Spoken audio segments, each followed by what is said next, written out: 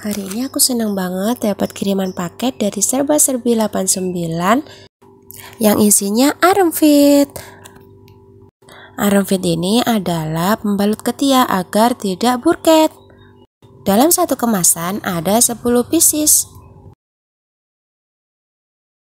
Teksturnya lembut, pastinya nyaman dipakai.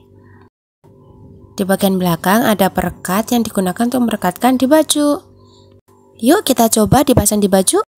Buka kertas perekatnya, lalu tempelkan pada baju di bagian ketiak.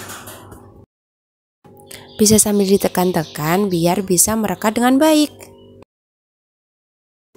Ini aku tes pakai air dan hasilnya di dalam basah, tapi di luar bajunya no tidak basah alias kering, jadi tidak menimbulkan burket deh.